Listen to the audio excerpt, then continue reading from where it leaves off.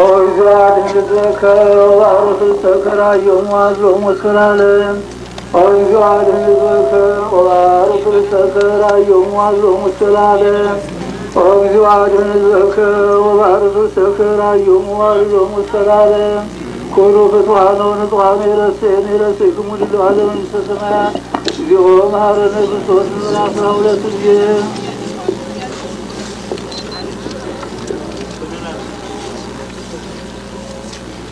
Gradu, stojimo.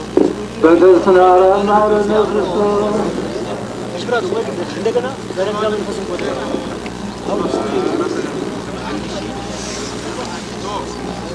भाल्यो बनबीब के वृत सदा माई सदा चाहिया फिर मुसली साहिल सामो सुन नामस कलम में एक पत्र बोता आप लोगों को पुलिस मंदिर में आते हैं አስ እየወጣችሁ እናንተ ወደኋላ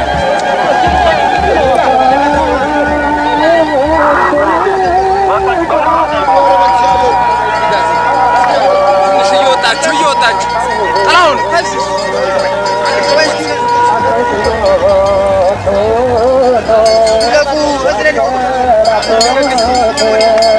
በግብፅ ያሉት እስላሞች መከራ ጽንተውብናልና ኃይልህን አንስተህ አስታክስልን ብለው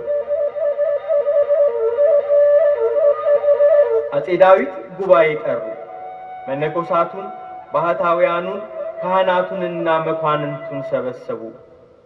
ዛሬ መቃድሾ በተባለው ቦታ ላይ የእመቤታችንና የመድኃኔ ዓለም ቤተ መቅደስ ነበረበት። በዚያ ምክንያት መቃድስ ይባል ነበር። በዚህ ቦታ ላይ አጼ ዳዊት ጉባኤ አካሄዱ። ንጉሡ አጼ ዳዊት ከሕዝባቸው ጋር መከሩ። ጉባኤው ውሳኔ አስተላለፈ። ጳጳሳቱ እንዲፈቱ፣ በክርስቲያኖች ላይ የሚደርሰው መከራና ግፍ እንዲቆም። ይህንን የጉባኤ ውሳኔ ይዘው ንጉሡ ዳግማዊ አጼ ዳዊት ወደ ግብፅ ሊዘምቱ ተነሱ። ሰራዊቱ ተሰለፈ። እልፍ አእላፋት ፈረሰኞች፣ እጅግ ብዙ ባለ በቅሎ፣ ቁጥር የሌለው እግረኛ ወደ ግብፅ ዘመተ።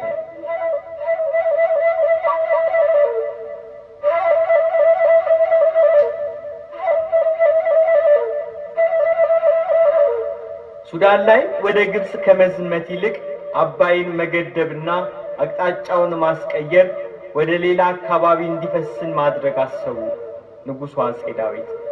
በሰራዊቱ ብርታት የታሰበው ተደረገ። ግብፅን ያለ አባይ ማሰብ አይቻልም። ግብፅ በአባይ የበቀለች ተክል ናት።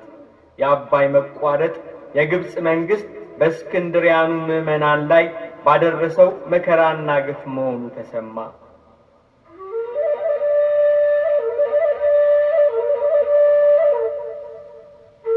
ጳጳሳቱን ፈታ፣ ክርስቲያኖቹንም አከበረ።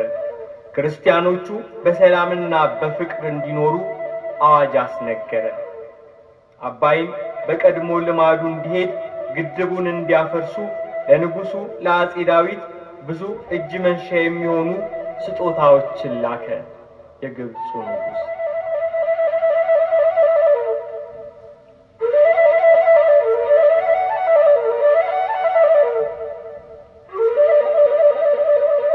ንጉሥ ዳዊት ከስጦታቸው ይልቅ እስክንድሪያ ያለው የጌታችን የመድኃኒታችን የኢየሱስ ክርስቶስ የቀኝ እጅ ያረፈበትን መስቀሉን እንዲሰጣቸው ጠየቁ።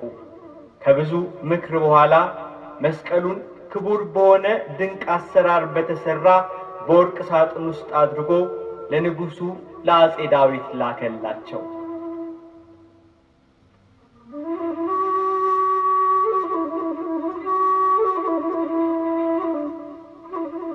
ንጉሡ አጼ ዳዊት መስከረም አስር ቀን መስቀሉን ተቀበሉ። አባይን በቀድሞ ልማዱ እንዲሄድ ግድቡን አፈረሱ።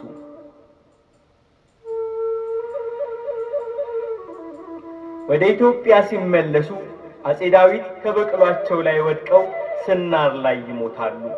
መስቀሉ ወደ ሀገራችን ሳይገባ ስናር ላይ ይከርማል።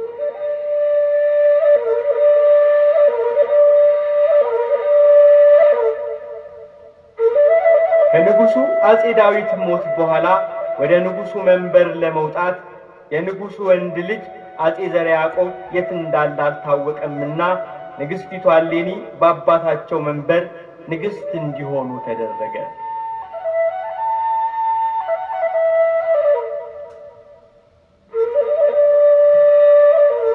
ሕዝቡ ግን ንጉሡ ወንድ ልጅ እንዳላቸው እየታወቀ እንዴት በዙፋኑ ላይ ሴት ልጃቸው ትቀመጣለች ብሎ ውስጥ ውስጡን እያጉረመረመ ወንድ ልጃቸውን ያፈላልግ ነበር።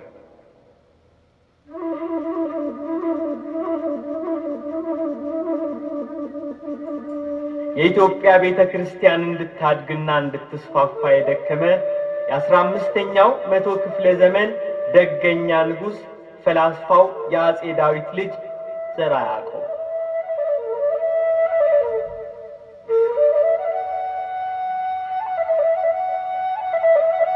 ዘርዓ ያዕቆብን በልጅነቱ ከቤተ መንግሥቱ የሥልጣን ሽኩቻ ለማራቅ እናቱ እግዚ ክብራ ወደ ደብረ ቢዝን አባ ፊልጶስ ጋር ላከችውና የውስጢኖስ የተባለ መምህር ዘንድ መማር ጀመረ።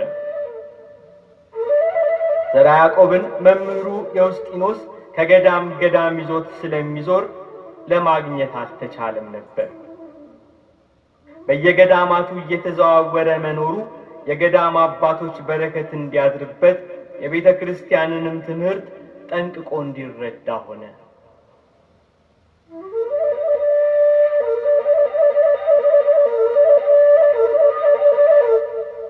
በመካከለኛው የኢትዮጵያ ነገሥታት ዘመን እጅግ ታዋቂ በኢትዮጵያ ቤተ ክርስቲያን ታሪክ ትልቅ ሥራን የሠራ ንጉሡ አጼ ዘርዓ ያዕቆብ ተገኘ። ሕዝቡ በአባትህ ፈንታ ንገስ ብለው ወደ መንበር አወጡት። ዘርዓ ያዕቆብን በዙፋኑ ላይ ያስቀመጡት። የዘርዓ ያዕቆብን የምንኩስና ቆብ በእህቱ በንግሥቲቷ እሌኒ ላይ ጫኑላት።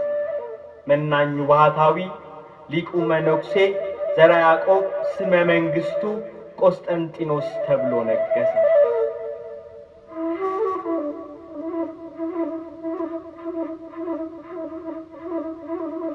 ዘርዓ ያዕቆብ እንደነገሱ ወደ ስናር ሄደው አባታቸው ዳዊት ከግብፅ አምጥተው ወደ ኢትዮጵያ ያላስገቡትን ግማደ መስቀሉንና ሌሎችን ንዋየ ቅድሳትን አመጡ። መነኩሴው ንጉሥ አጼ ዘርዓ ያዕቆብ መስቀሉን እንዳመጡ እግዚአብሔር በሕልማቸው ተገልጾ መስቀሉን በመስቀለኛ ቦታ እንዲያስቀምጡ ነገራቸው።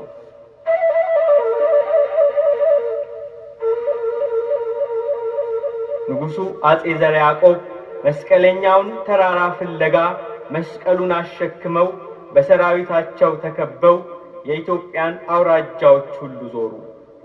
በሸዋ በደርሄ ማርያም፣ በመናገሻ አምባ፣ በጨጨሆ፣ በእንጦጦ፣ በደብረ ብርሃን፣ በአንኮበር ሁሉም ስፍራ የግማደ መስቀሉ ማረፊያ ስፍራ ይሆን ዘንድ እንዳልተፈቀደ ይነግራቸዋል። የሚመራቸው ቅዱስ መልአክ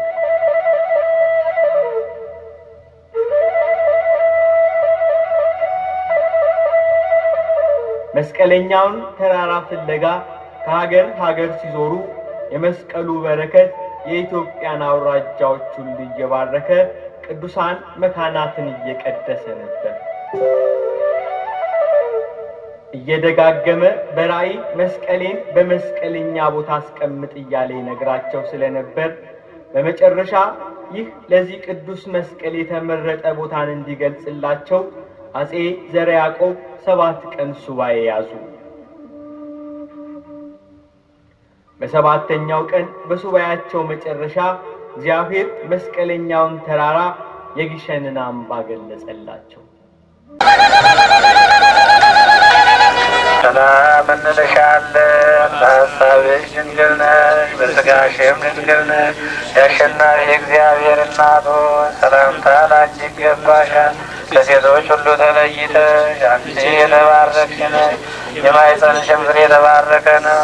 ጸጋን የተመላሽ ደስ ይበልሽ፣ ልዑል እግዚአብሔር ከአንቺ ጋር ነውና ከተወደደው ልጅ ከጌታችን ከመድኃኒታችን ከኢየሱስ ክርስቶስ ዘንድ ይቅርታና ምሕረትን ለምኝልን ኃጢአታችንን ያስተሰርይልን ለዘላለሙ አቤቱ ሕዝብህን አድን ርስትህንም ባርክ። አቤቱ ሕዝብህን አድን ርስትህንም ባርክ።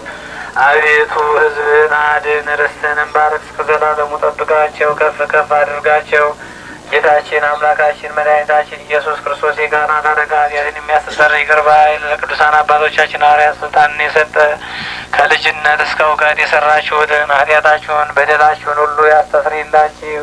አባቶች የካህናት ወንድሞች ዲያቆናት ከዚህ የተሰበሰባችሁ ወንዶችም ሴቶችም ትልቁም ትንሹም ከኃጢአት ማሰሪያ የተፈታችሁ ንጹሐን ሁኑ።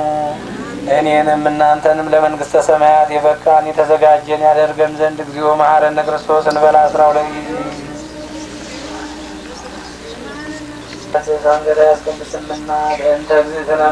መሐረነ ክርስቶስ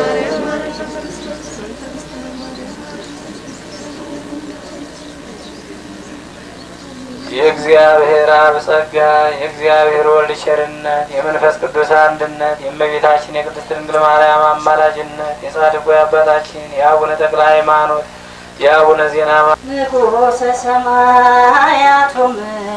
ወልዶ በትሽን ሞት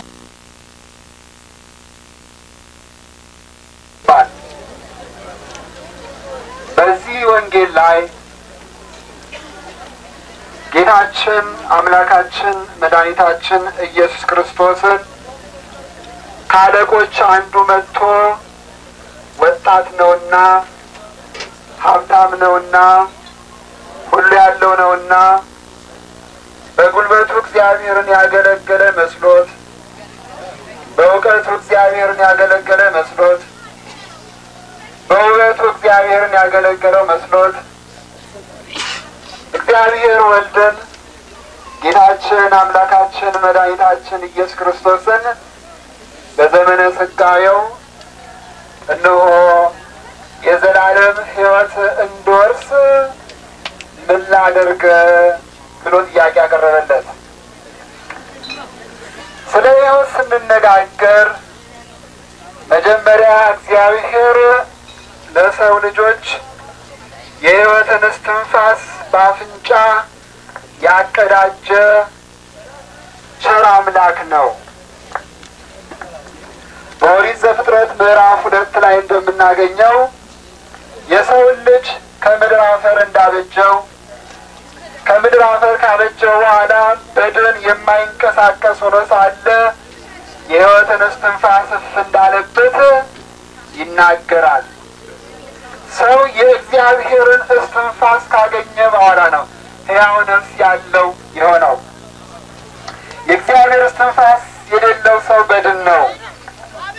የእግዚአብሔር እስትንፋስ የማይጎበኘው ሰው ሬሳ ነው። የእግዚአብሔር እስትንፋስ የማይመለከተው ነው። ጥያቄ ጥሩ ነው። ህጉን ታነበዋለህ ያለው ህጉን እንዴት ታነበዋለህ? ህጉን እንዴት ታየዋለህ? ህጉን እንዴት ትመለከተዋለህ? እስቲ ክርስትና ውስጥ እንዴት እየፈጸምከው ነው ያለኸው?